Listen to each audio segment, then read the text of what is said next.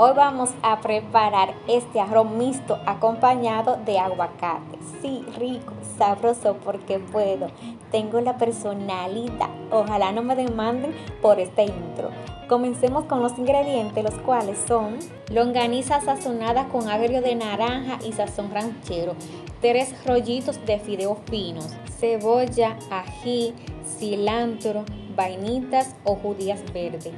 Recuerden que pueden agregar u omitir ingredientes. En un caldero con un poco de aceite sofreímos la longaniza o el embutido de su preferencia. Paprika ahumada para darle un toque de sabor y color a esta delicia de receta y seguimos agregando los demás ingredientes.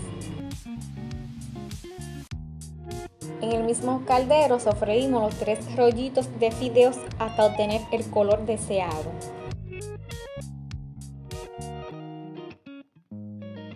Ajo con sal y orégano. Vamos a agregarle caldo de pollo de la receta anterior. Esto le dará un sabor exquisito.